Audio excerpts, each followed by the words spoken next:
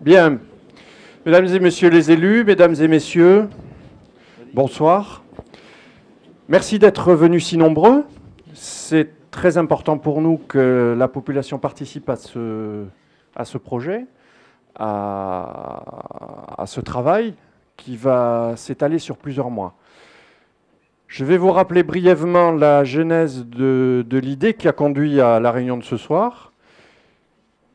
C'est que pendant toute cette campagne électorale euh, pour les élections municipales, nous avons eu le sentiment que, effectivement, des choses avaient été faites, des choses avaient été imaginées, des dossiers avaient été ouverts, mais globalement, de manière tout à fait indépendante les unes des autres. C'est-à-dire que nous avons un problème de circulation, chacun peut s'en rendre compte. Il est relativement facile de rentrer dans la commune, il est très difficile de sortir du centre-ville.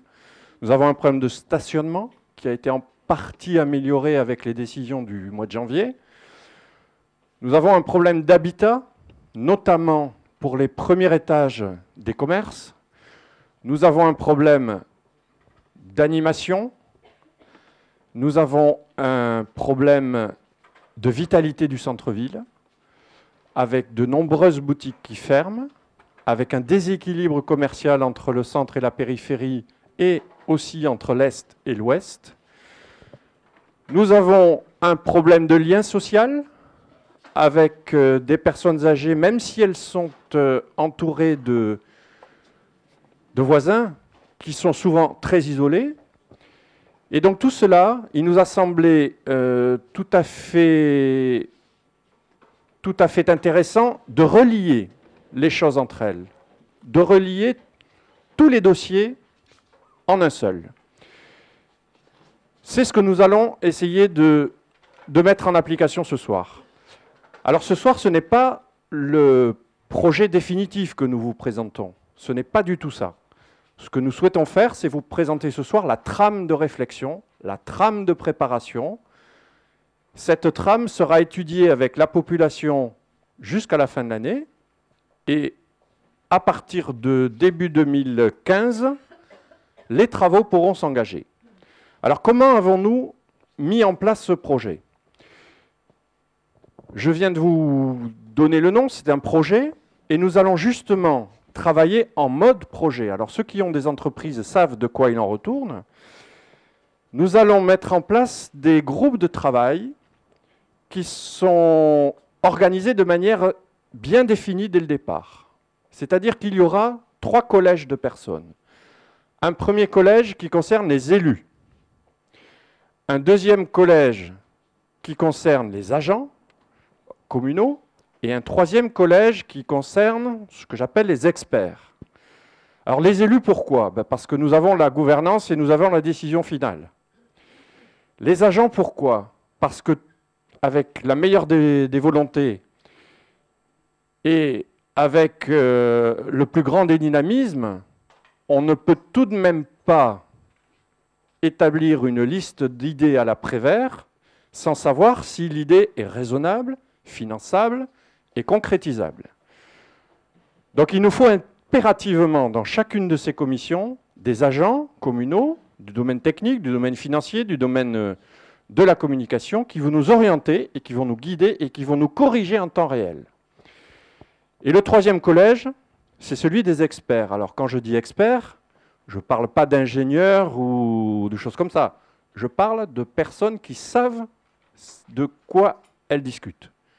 Qu'elles soient architectes, qu'elles soient urbanistes, qu'elles soient simples habitants, chaque personne a une expertise qui lui est personnelle, et peut nous apporter des lumières pour mettre en place une réflexion cohérente. Donc ça, c'est le troisième collège.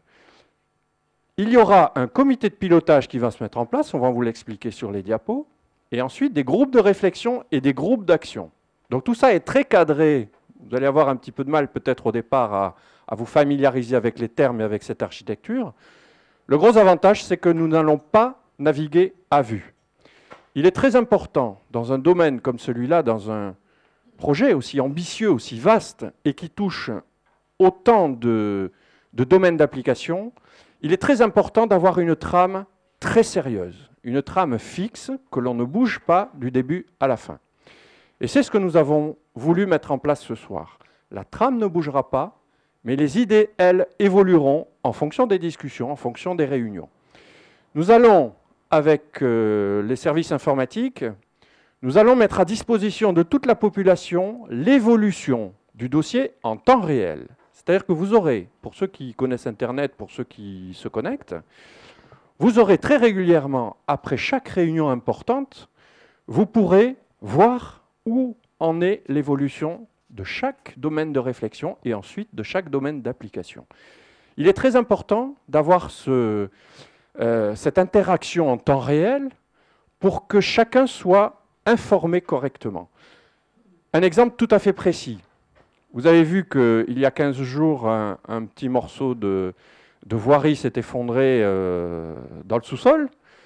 Bon, pour ceux qui suivent sur, euh, sur Internet, vous avez été mis au courant très régulièrement de l'avancée des travaux, de, de la finalisation des, du chantier, de, des finances aussi du chantier, du coût du chantier. Donc, je pense que l'information en temps réel a un gros avantage, c'est qu'elle rassure la population. Et surtout, elle évite bah, de, projeter des plans sur la comète. Euh, ça évite les rumeurs, ça évite les inquiétudes infondées.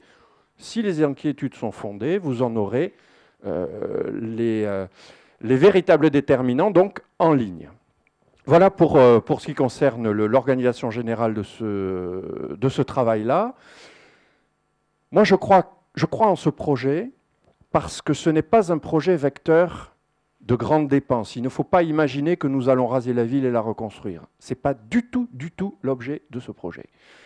Il va y avoir deux, trois opérations structurantes, effectivement, notamment aux alentours de l'hôpital, euh, la liaison avec la filleule, la place du marché, et peut-être ensuite euh, euh, une accessibilité meilleure autour de la place du marché. Ça, ce sont des dossiers structurants. Mais après, ce sont des dossiers que j'appellerais plutôt fonctionnel. C'est la fonctionnalité de la ville qu'il nous faudra revoir en termes de circulation, en termes de stationnement, en termes d'accès, en termes de vie quotidienne. Et tout ça, c'est avec vous que nous voulons le mettre en place. Parce que vous vivez dans la, ville, vous avez envie qu'elle avance, sinon vous ne seriez pas là. Vous avez envie qu'elle vive, vous avez envie qu'elle soit agréable, qu'elle soit dynamique. Eh bien, nous aussi. Donc, nous allons échanger. Et c'est pour cela que nous vous avons invité ce soir. Alors nous allons, il n'y a plus de chaises, donc euh, nous allons euh, bah, nous rester debout, comme vous au fond. Et je vais demander à, à Madame l'abbé donc, de lancer le diaporama. Qui est-ce qui commence les...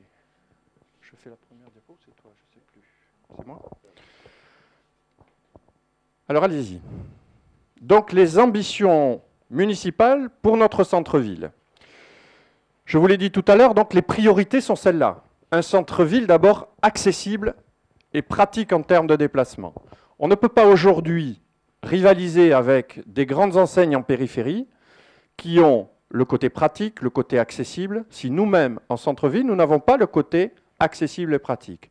Alors je dis nous, je ne me place pas spécifiquement en centre-ville, mais je me place en termes de, euh, de réflexion. Un centre-ville qui doit être habité, synonyme de qualité du cadre de vie. Un centre-ville qui n'a pas d'habitants est un centre-ville artificiel.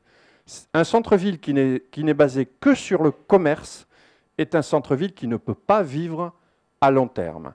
Il nous faut impérativement trouver cette articulation où nous allons devoir faire revenir des habitants en centre-ville de tous âges, de toutes conditions sociales, pour favoriser cette mixité et de manière à ce que ce centre-ville soit véritablement agréable à vivre.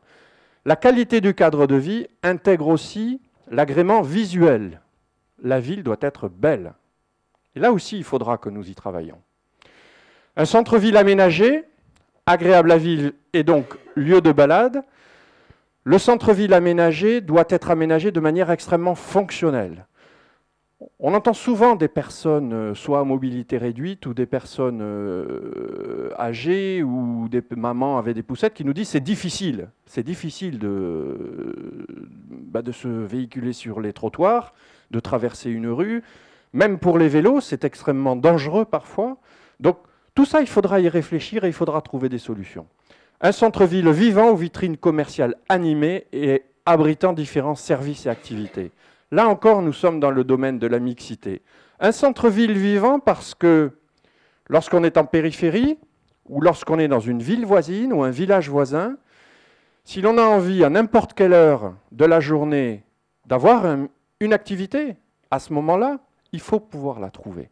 Il ne faut pas se dire, il est 8 heures, tout est fermé, donc je ne descends pas à Marmande. Voilà. Ça aussi, il va falloir résoudre ce problème-là. Les vitrines commerciales animées, bien évidemment, le commerce fait partie intégrante de cette activité du centre-ville. Le commerce, ce qui est très important à mes yeux, et je le dis depuis des années, il faut surtout favoriser donc le commerce familial local, qu'il soit, euh, sous franchise ou qu'il soit euh, directement sous enseigne, mais, en tout cas le commerce familial local euh, parce que c'est le seul qui ramène la plus-value sur notre ville. Voilà, je vais laisser la, la parole à Philippe Labardin.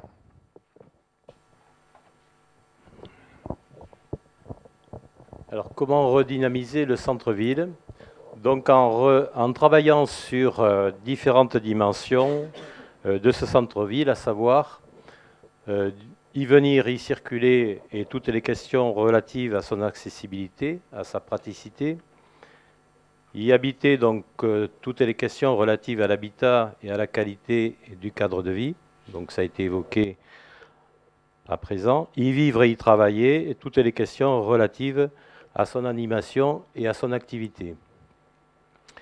Alors bien entendu, euh, comme on vous l'a dit, on va associer à cette réflexion l'ensemble des acteurs, c'est-à-dire aussi bien les élus que les techniciens, que toutes les personnes qui ont une expertise particulière ou un conseil avisé.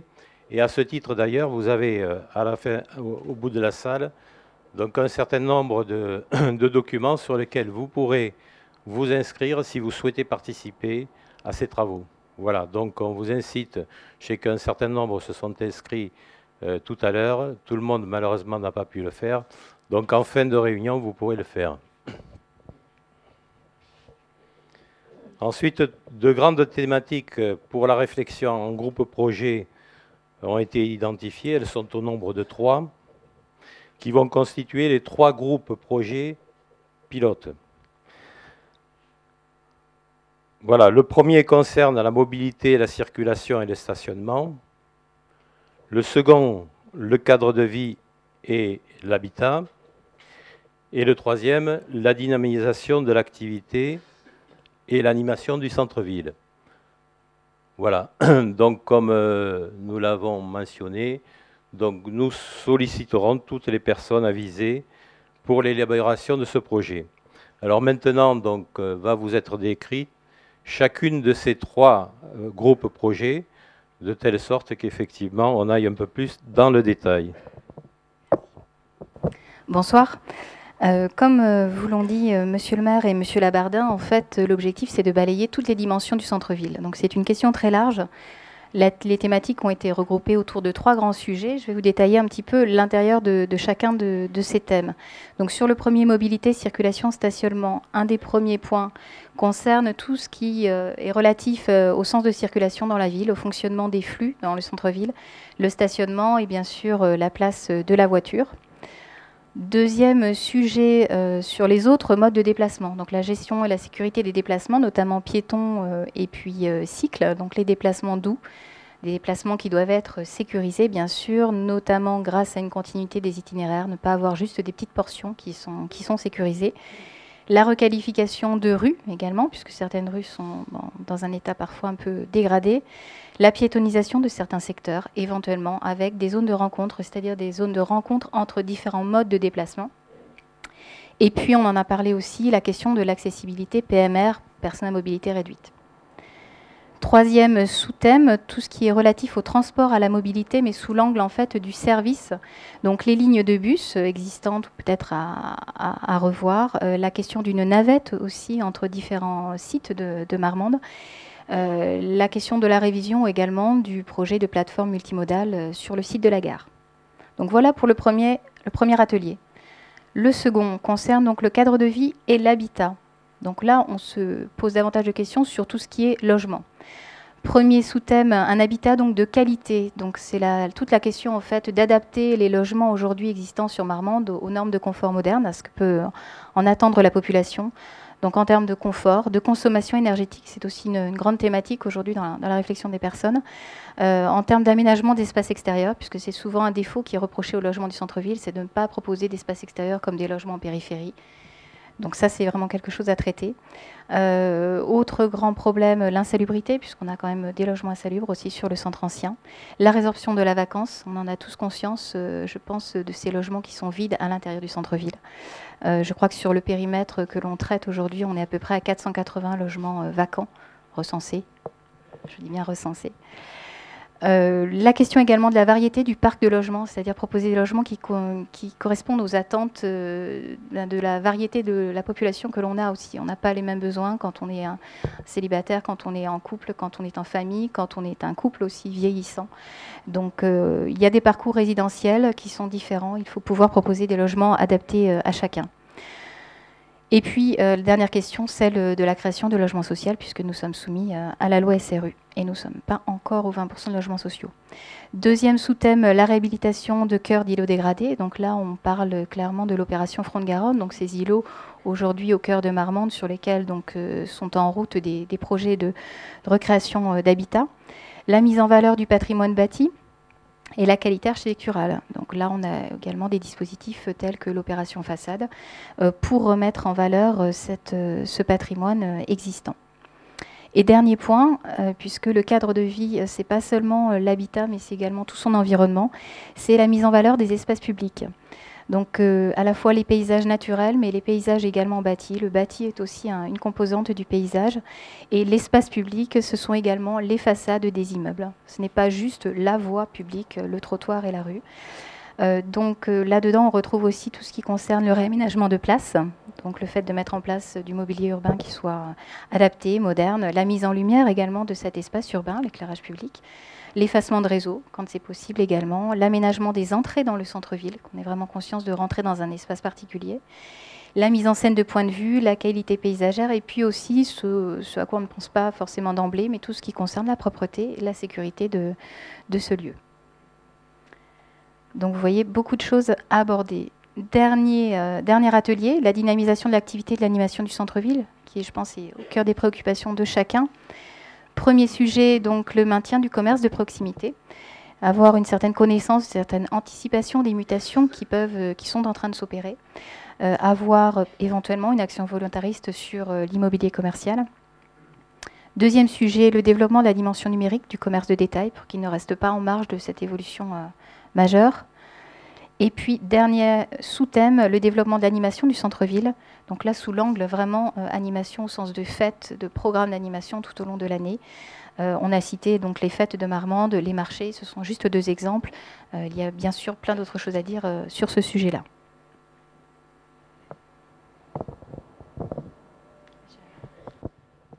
Voilà, donc en termes de méthodologie, donc une méthodologie simple et souple, donc avec euh, pour chaque groupe projet donc une première réunion qui aura lieu au mois de juin afin de partager les éléments du diagnostic qui, qui existe puisqu'il y a un certain nombre d'études qui ont été réalisées soit par la commune soit par la communauté d'agglomération et il est bon euh, pour cette première réunion de s'inspirer effectivement de tout ce qui a été réalisé jusqu'à présent de telle sorte que on se place sur une base de discussion. Donc ça, c'est relativement important. Euh, ensuite, une seconde réunion permettra la formulation des actions engagées sous forme de fiches actions. Donc vous voyez qu'on a des, groupes d'actions et des groupes, euh, des groupes projets et des groupes actions. Alors, sur l'identification d'un groupe action avec le rapporteur et le référent technique, donc chaque groupe action aura un rapporteur et un référent technique. Seront fixés le calendrier les conditions de réalisation, les échéances et les différentes étapes. Un budget également avec un plan de financement, des subventions qui sont euh, possibles et euh, la communication qui va avec. Un certain nombre également d'indicateurs d'évaluation et bien entendu tout cela devra répondre aux finalités du développement durable. En termes de priorisation et de programmation pluriannuelle des réalisations, donc les résultats de ces travaux des trois groupes actions sera présenté donc en bureau municipal afin d'opérer une priorisation des actions engagées et leur programmation financière. La synthèse des travaux et cette feuille de route récapitulative constituera le projet urbain centre-ville, cœur de vie et sera présenté en commission puis en conseil municipal. Donc ce qu'il faut d'abord dire, c'est que ces trois groupes actions vont travailler euh, de façon indépendante dans, chacun de ces groupes, projets euh, seront déclinés en groupes actions. Il est bien évident que l'ensemble des données, puisqu'on a dit que c'était un projet global, donc l'ensemble des groupes actions seront recentrés au niveau du groupe euh, projet de base, et ensuite les trois groupes de projets feront une synthèse pour finaliser et déterminer quel est le projet urbain du centre-ville, cœur de vie de Marmande. Alors, il pourra ce projet pourra se décliner en opération achevée, en opération en cours ou bien sûr en opération à venir. Ce document de programmation pourra bien sûr évoluer et son degré de réalisation sera évalué régulièrement. Donc il n'est pas question d'avoir quelque chose de figé, mais de prendre en compte effectivement un certain nombre d'éléments qui seront apportés au fur et à mesure, je dirais, euh, de, l'analyse. Par exemple, tous les débats préalables euh, lors des débats préalables au vote du budget, il permettra aux partenaires et aux habitants une appropriation, une lecture cohérente et une compréhension de la politique menée par la municipalité sur le centre-ville. Il est bien évident que pour nous, ce qui est important, c'est que les Marmandais s'approprient euh, ces actions qui sont menées et s'approprient le centre-ville de façon à ce qu'effectivement on recrée euh, de la vie au niveau de la ville. Alors ensuite, au niveau de la programmation, de l'anticipation, ce sera un outil de travail pour les services. En termes de cohérence et de clarté, un outil d'échange avec les partenaires de la commune, en termes de compréhension et d'appropriation et d'amélioration, un outil de concertation et de communication avec la population. Le calendrier qui est envisagé. Donc la première réunion, comme on l'a vu tout à l'heure, on a la réunion de ce soir bien entendu le 28 mai. On aura une réunion autour du 15 juin qui euh, permettra de déterminer, euh, de positionner tous les groupes projets. Ensuite, au mois de juillet-août, les services travailleront euh, sur les différentes thématiques qui seront abordées. En septembre, on aura une deuxième réunion des groupes projets. En octobre, l'ensemble de la mise au point des fiches actions. Et en novembre, une présentation du projet en bureau du conseil municipal pour la priorisation des actions. Enfin, en décembre, une présentation en commission, puis au conseil municipal du projet. Alors bien entendu, par rapport à ça, il y a un certain nombre de, projets euh, qui seront déclinés en groupes actions. Et euh, dès le mois de juin, nous mettrons en place un certain nombre de groupes actions. Alors, ça concerne par exemple la liaison directe entre l'hôpital et le stationnement au niveau de la gare. Également, ça concernera la liaison entre les remparts et le parking de la Fiole et, la place du marché. Donc en fait, on a déjà dans un premier temps donc, ces groupes actions à la lumière des éléments qui leur sont fournis par les services vont recenser euh, l'ensemble, je dirais, des idées qui seront euh, émises lors de ces groupes euh, actions. Ensuite, l'ensemble de ces idées seront travaillées par les services de la mairie ou de VGA avant de revenir ensuite, d'être restitué et de revenir en groupe action dans le courant du mois d'octobre. Voilà. Pour la finalisation, donc, à la fin de l'année. Donc là, on vous a mis trois groupes euh, actions en particulier, mais il y en aura bien sûr d'autres qui seront définis et sur lesquels, effectivement, vous serez amené à vous prononcer. Voilà, merci de votre attention. Voilà, donc là, vous avez le cadrage administratif de la réflexion. Si j'arrive si à résumer, vous allez être associé donc à la réflexion très rapidement. Vous allez vous inscrire dans des groupes de réflexion. Euh, dans la quinzaine qui vient, vous allez pouvoir vous réunir sous la direction de, des élus et des services techniques et des services euh, administratifs pour commencer cette réflexion. Sur la base de cette première réflexion, les services vont réfléchir cet été. Je leur ai demandé de ne pas partir en vacances. Je vois déjà des sourires poindre. non ah bon. Et nous ferons donc une deuxième réunion après cette euh, première phase de réflexion des services. La deuxième réunion sera en fait l'accomplissement de la réflexion. Et ensuite, nous aurons une validation au niveau des instances politiques. Ce qui est important, je crois, dans ce schéma-là, c'est que vous avez la réflexion et ensuite l'action. Le tout cadré par un schéma précis pour ne pas que l'on se perde, pour ne pas, comme on dit, taper dans tous les coins. Parce que ça, ça n'aboutirait à rien. C'est pour ça que nous avons voulu un cadre de, euh, travail extrêmement rigide. Alors vous êtes très nombreux. Vous êtes très nombreux, donc euh, je crois qu'il va falloir euh, trouver une solution. Mais véritablement, tous ceux qui sont intéressés, tous ceux qui sont très motivés, il euh, n'y a pas de souci, vous serez associé à cette réflexion. D'autant que il y a déjà des, non pas des corps constitués, mais euh, des associations qui existent. L'association des commerçants, euh, on va voir pour des associations d'usagers. Toutes ces personnes-là, dans leurs outils propres, pourront aussi réfléchir et nous faire part de, du fruit de leur réflexion et donc enrichir notre débat. Vous avez identifié donc trois groupes actions qui vont très rapidement se mettre en place.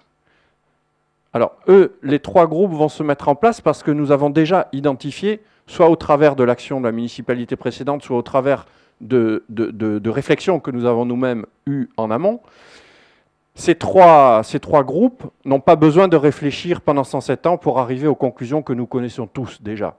C'est-à-dire enjamber le trek, on ne va pas y passer euh, trois mois pour réfléchir faire une liaison directe entre l'hôpital et la gare, on ne va pas y passer trois mois non plus pour réfléchir. On sait qu'il faut le faire. Maintenant, il faut passer à l'action.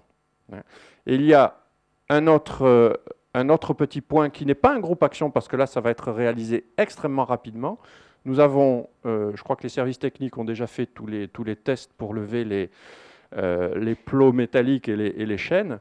Nous allons déchaîner la place Clémenceau et nous allons mettre en place un système de, stationnement rapide sur une petite portion, de manière à améliorer l'accès de la ville, le centre-ville, que la population s'approprie cette place et qu'elle soit vivante. Ce que j'ai envie, ce que j'ai, ce que j'ai envie véritablement, c'est que les Marmandais qui se promènent sur cette place n'aient pas envie tout de suite d'en sortir mais qui se l'approprient, qui y vivent. Hein, et je, on ira voir les, commerçants pour, euh, pour voir comment on peut la faire vivre encore plus.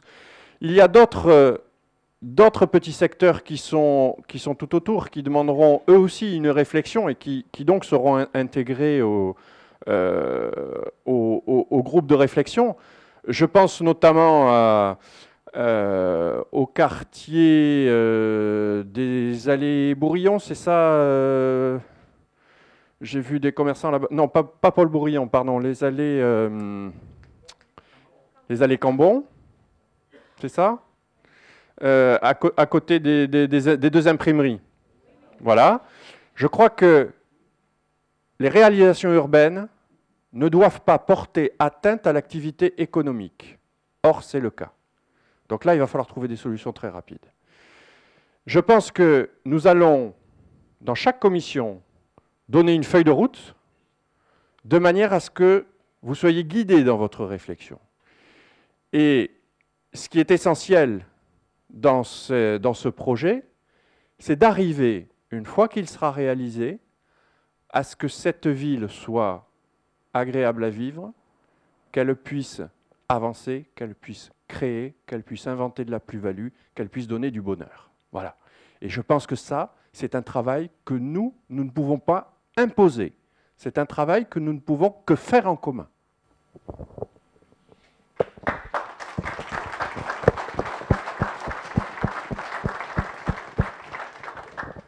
Oui, donc il y a un autre groupe action qui va, qui va démarrer tout à fait début juin. C'est un groupe d'action sur le commerce qui concerne plus particulièrement euh, le numérique, donc on en reparlera, mais qui est à petite échelle, mais qui sera largement partagé aussi par la suite.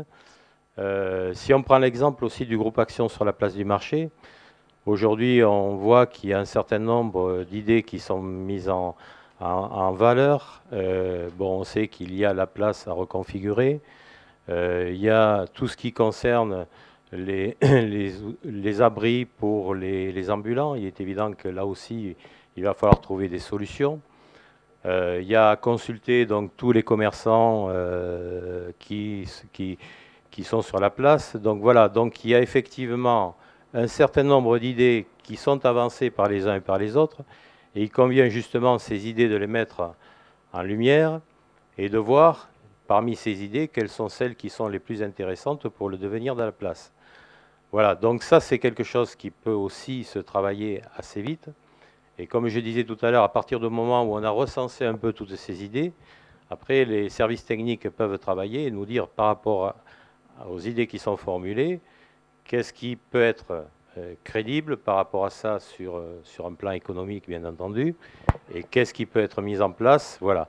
Donc je crois que là, euh, même si vous êtes nombreux à vous inscrire tout à l'heure, il est évident que les groupes actions, bon, pour bien travailler, il faut maximum une quinzaine, vingtaine de personnes, mais rien n'empêche qu'au-delà, si vous voulez, du fait que ces groupes auront travaillé. Rien n'empêche, si vous voulez, par rapport aux personnes qui se seront inscrites, de retraduire ça dans une assemblée un peu plus large, de telle sorte que, effectivement, vous donniez votre avis par rapport à ça avant de passer à une deuxième étape, si vraiment il y a, plus de monde. Donc, ce qui fait que bon, les idées qui seront soulevées peuvent être largement partagées.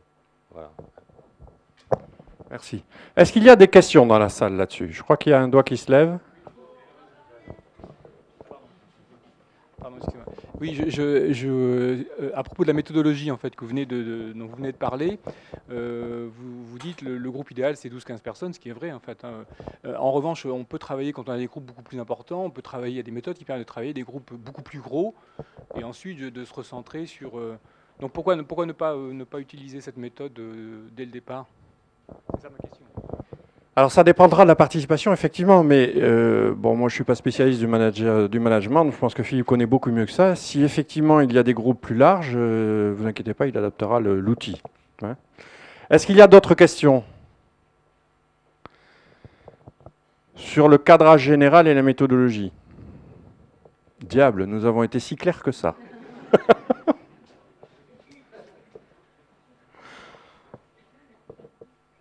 Pas d'autres questions? Oui. En fait, moi, euh, ce que j'ai pas réussi à, comprendre, c'est vous avez présenté un, projet global. Il y a plusieurs actions qui sont menées. On a vu en faire certaines actions qui sont des actions, je dirais, de lancement euh, et qui procèdent déjà de réflexions qui ont été euh, en partie menées. mais j'ai entendu parler d'autres projets en fait. Et du coup, ce que je n'arrive pas à voir, c'est le calendrier des autres projets ou groupes de projets sur l'ensemble des trois thèmes que vous avez cités, y compris euh, euh, lorsque vous avez présenté ces thèmes, la déclinaison en sous-thèmes en, quelque sorte de ces projets. Donc moi, ce que j'arrive pas à voir, c'est à la fois la durée et puis le séquencement. Oui, donc comme je vous ai dit tout à l'heure, la première réunion donc, sera aux, alentours du 15 juin. Donc pour les trois groupes projets, hein, voilà, trois groupes au projet, première réunion aux alentours du 15 juin. Bon, comme on vous l'a dit, on a identifié dans certains groupes projets des, actions qui peuvent être menées de suite. Donc en fait, à ce moment-là, on va lancer des groupes actions sur les trois ou quatre ou cinq actions que l'on aura identifiées. Bon, ensuite, si on veut lancer un groupe de travail, il faut qu'on ait de la matière. Hein. Donc c'est la raison pour laquelle on va faire travailler euh, les services de la ville, les services de VGA également, de, Val-de-Garonne Agglomération, pour apporter de la matière. La matière, elle provient d'où? Elle provient des études qui ont été faites, et puis également euh, de l'analyse qu'ils peuvent avoir euh, de la situation. Donc à partir du moment où on aura suffisamment de matière, on pourra lancer ces groupes actions.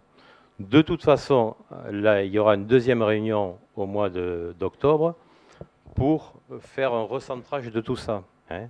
Voilà. Et enfin, donc, on, lancera après tous les groupes actions pour qu'ils finalisent euh, leur réflexion, de telle sorte qu'ensuite on puisse avoir la pyramide et donc qui concrétise donc le projet euh, centre-ville, cœur de vie. Voilà, donc si on ne lance pas tout en même temps, c'est qu'effectivement on n'a peut-être pas toute la substance nécessaire pour le faire en même temps. Voilà. Hein.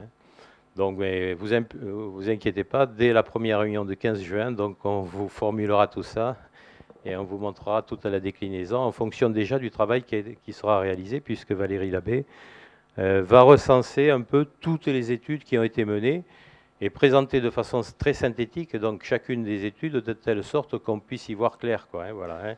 Parce que c'est vrai que dans les études, bon, il y a, il y a, énormément de choses, mais ce qu'on veut, nous, c'est la synthèse de ce qui a été euh, déterminé, hein, de telle sorte qu'on puisse, à partir de ces bases-là, ben, enrichir la réflexion.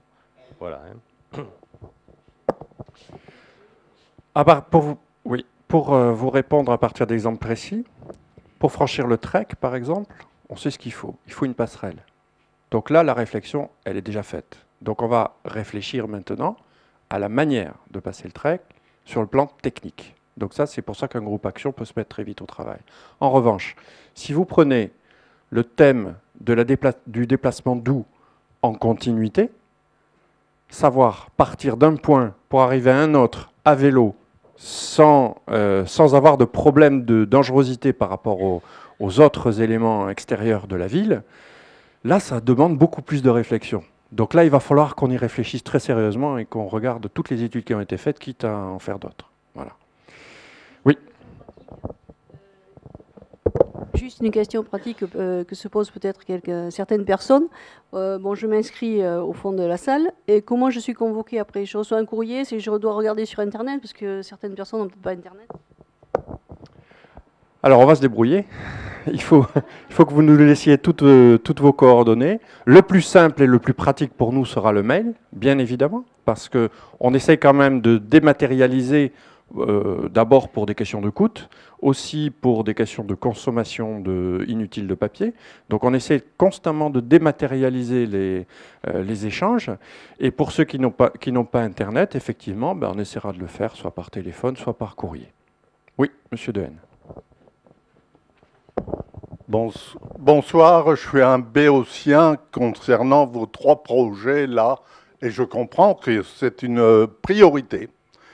Mais il y a des petites choses qui peuvent se faire très rapidement. Et pourquoi vous n'ouvrez pas une boîte à idées sur Internet? Euh, Je parle pour nous qui sommes sur les boulevards, le stationnement, c'est l'enfer. Enfin non, euh, je...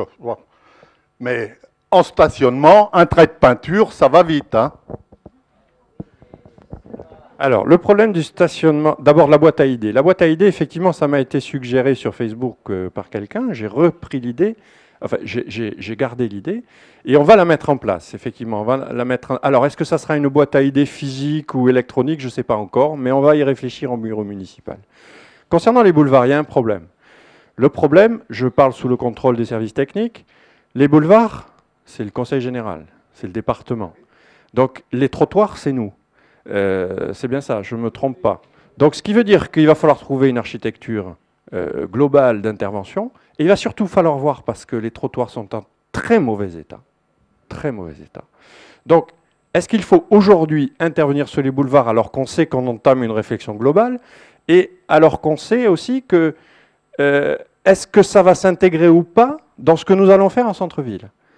Je ne suis pas certain. Alors peut-être qu'il faut essayer de parer au plus pressé sur les boulevards, mais je pense que les boulevards mériteront une opération à eux seuls, euh, une opération d'ensemble, globale euh, et efficace. Peut-être?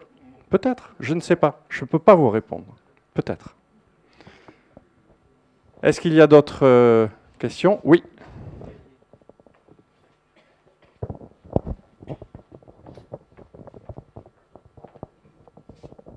Merci.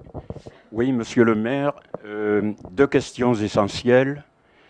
Euh, quel sera le coût? Et combien de temps vous donnez-vous pour réaliser tout ça?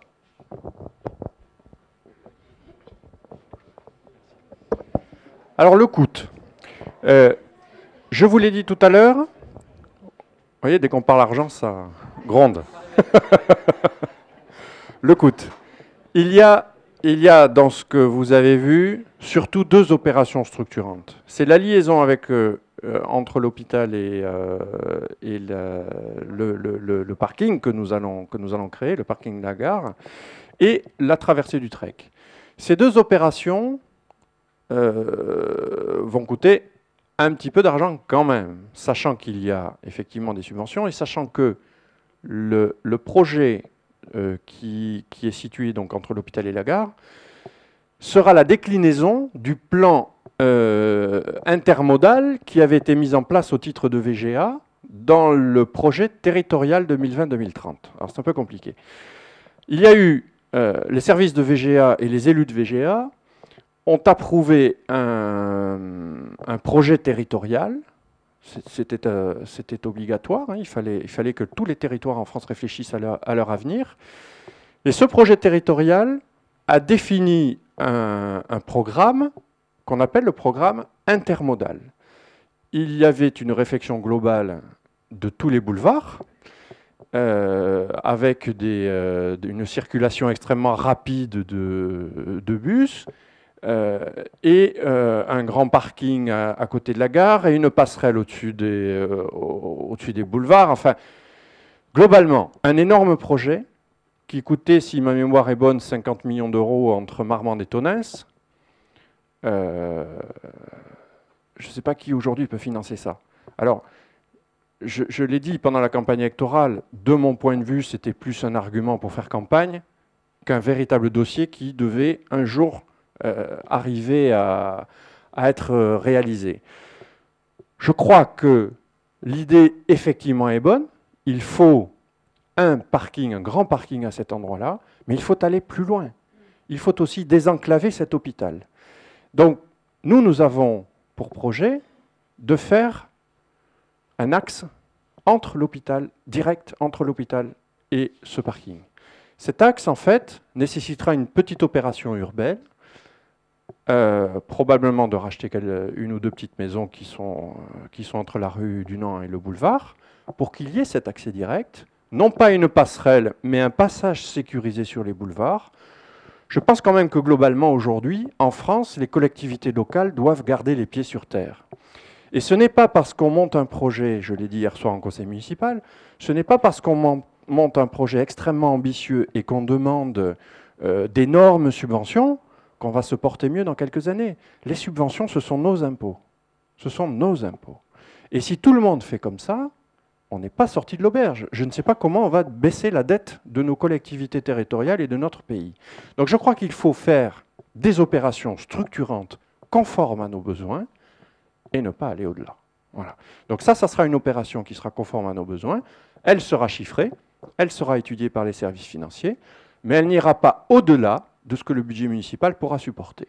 L'idée, c'est, nous avons trouvé la ville dans un certain état financier, nous, nous voulons absolument engager ce projet, le réaliser et rendre la ville en meilleur état financier au bout de cinq ans. Voilà. Ça, c'est notre, euh, c'est notre leitmotiv, et je peux vous garantir qu'avec la volonté que nous avons, nous y arriverons. Voilà.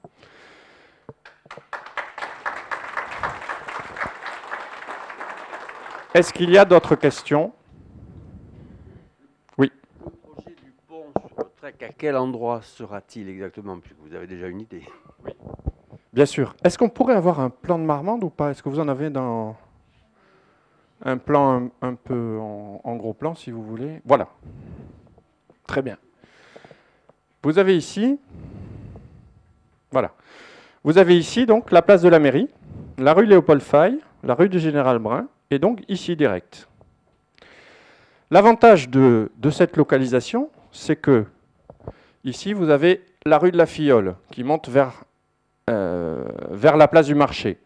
C'est une rue qui est très difficile à, à utiliser pour les piétons. Il n'y a qu'un trottoir de disponible, l'autre est encombré par un escalier en pierre. L'autre accès, c'est que je me repère ici le passage, à l'intérieur du rempart. Alors j'ai toujours eu, euh, j'avais toujours mon petit mot pendant la campagne électorale. Il faut y passer, pour y passer, il faut faire de l'apnée. Euh, donc ça pose un problème. Et puis pour les personnes âgées, c'est pas très adapté non plus, ou pour les mamans avec poussette, ou pour les personnes avec cabas. Et vous avez le troisième, euh, le troisième accès, qui est donc la rue Léris-Lermite. Pareil, il faut faire un peu d'apnée pour y passer. Et il faut enjamber les crottes de chien. Merci. Voilà. Donc globalement, le meilleur endroit, c'est celui-ci, direct. C'est-à-dire que la passerelle prendrait la rue du Général Brun et traverserait le boulevard Cœur de Lion et le Trek au même niveau. Et ensuite, il y aurait un ascenseur au bout, de manière à ce que les gens puissent venir se garer, prendre l'ascenseur comme celui qui est en centre-ville, et il serait au niveau du centre-ville. On supprime tous les problèmes d'accessibilité de notre centre-ville, puisqu'ensuite, sur la rue du Général Brun et sur la rue Léopold Faye, vous avez de beaux trottoirs. Et il restera à trouver une, petite, une solution pour ici, entre l'église et les bâtiments de la rue de la République, où là, les trottoirs sont un peu étroits. Mais tout ça, c'est vous qui nous, qui nous suggérerez des idées à ce niveau-là. Pardon? Oui, mais il faudra le, faudra le réfléchir, tout ça. Mais ça, c'est la- la- l'ascenseur, on n'y mettra pas les voitures. hein. On ira à pied.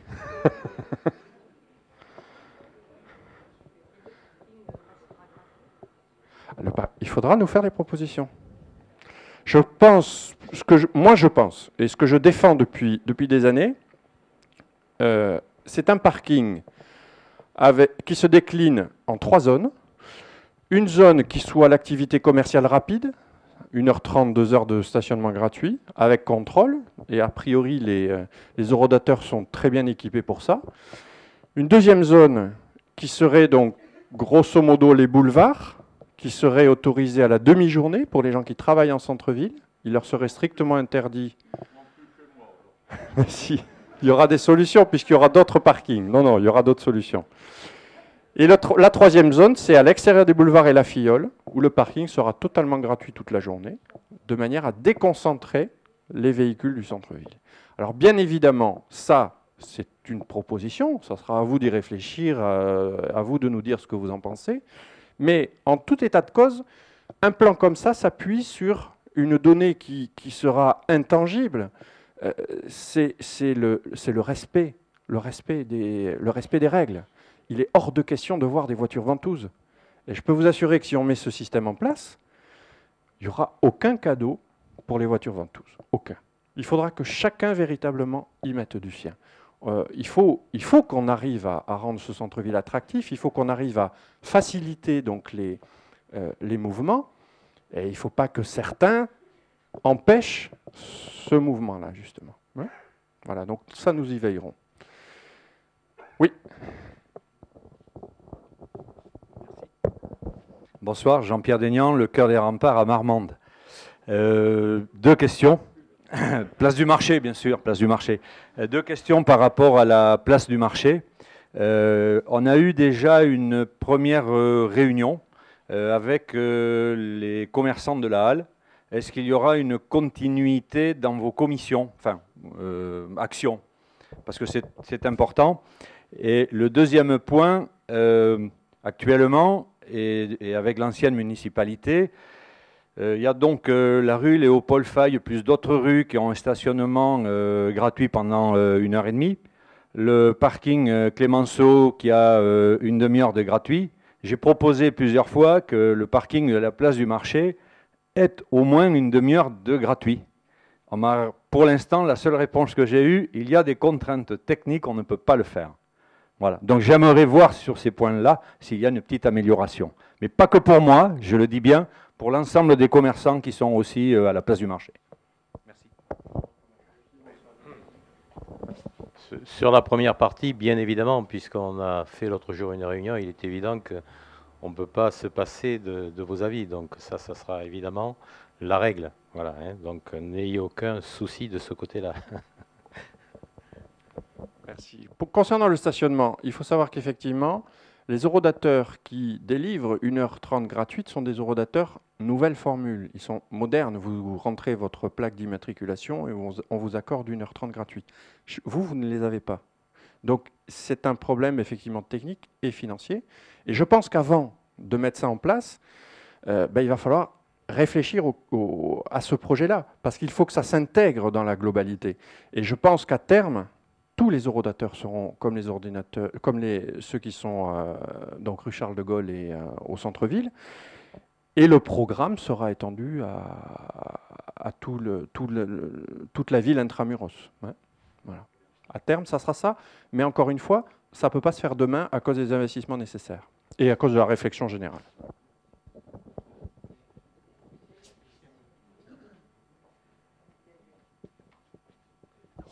Merci.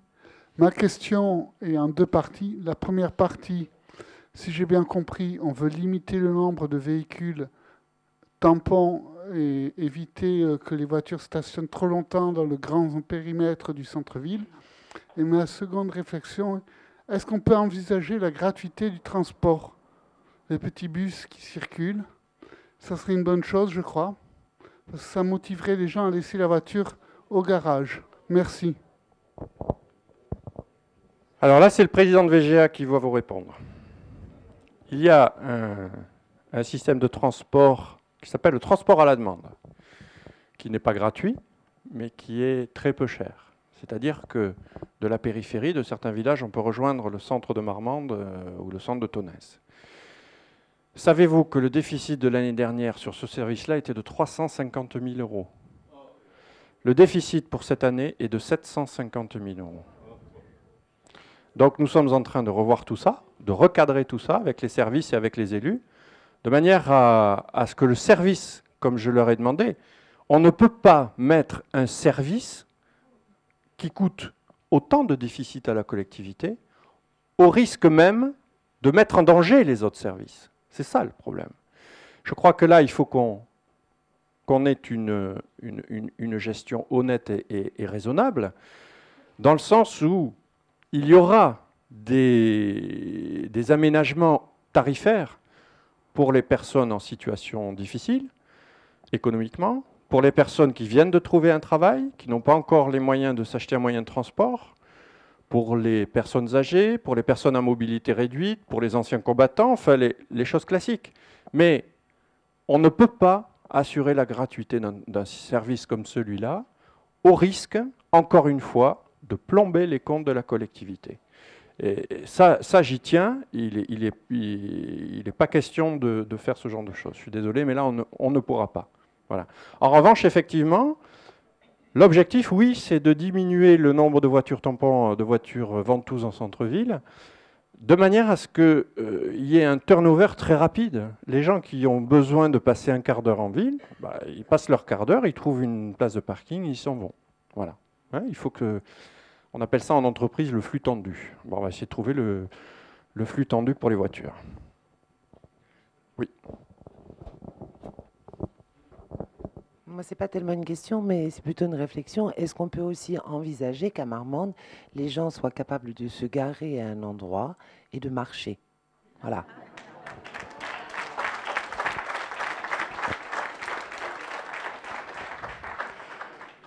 Vous avez raison.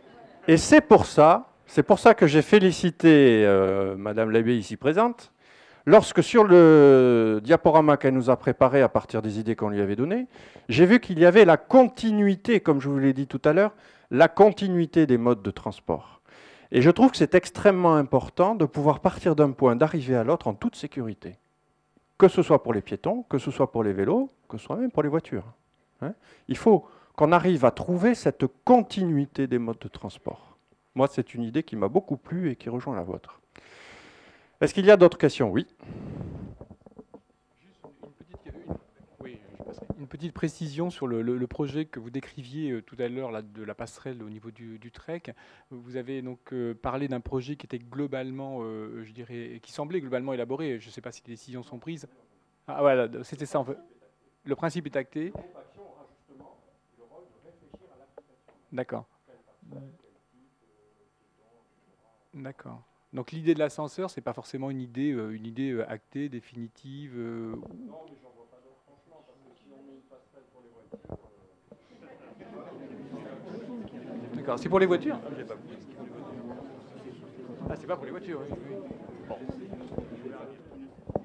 Je, prends le micro, monsieur le maire, excusez-moi. Juste une réflexion pour le, le, monsieur qui parle transport.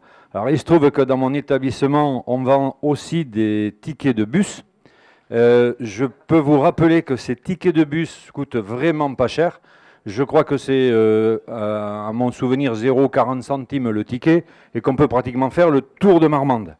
Donc il y a là une réflexion. la deuxième petite question que j'aimerais poser, mais ça fait peut-être partie d'une commission, on a parfois la demande, pas beaucoup certes, mais je pense que ça va arriver, où est-ce qu'on peut brancher une voiture électrique?